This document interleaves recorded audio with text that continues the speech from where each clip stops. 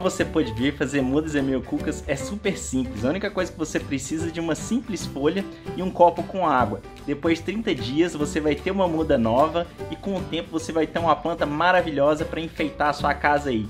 Então, se você quiser saber tudo para ter o melhor das suas plantas, se inscreva no canal do Cantinho de Casa, acione o sininho para não perder nenhuma novidade e se você gostou do vídeo aí, já deixa aquele like, pois ajuda bastante o meu trabalho e não esqueça de compartilhar o vídeo com as pessoas que você conhece que gostam de plantas, pois com certeza elas vão te agradecer bastante. Então, pessoal, aquele abraço para vocês, fiquem com Deus e até o próximo vídeo. Tchau, tchau!